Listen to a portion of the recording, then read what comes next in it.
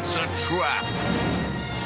It's the third, last, and final chapter in the Family Guy Star Wars saga. Vader's on that ship. Don't get jittery, Luke. There's a lot of command ships.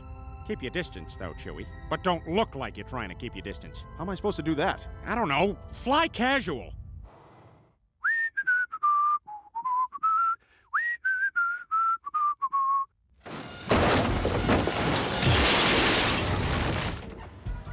Hey, hey, hey, girls. Anyone want to make the Kessel run? That'd be cool, but we only got 12 parsecs.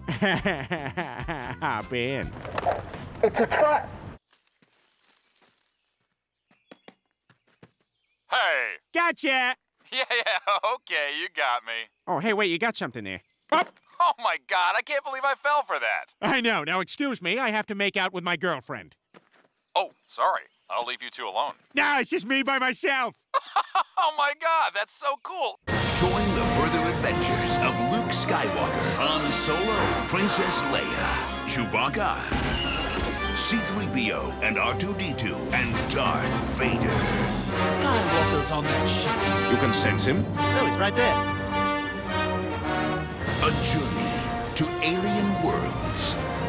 Still alive. It's a trap! It's a trap! A rebellion against oppression. A fantastic adventure through time, space, and the boundaries of good taste. Help me get this mask off. Family Guy. It's a trap.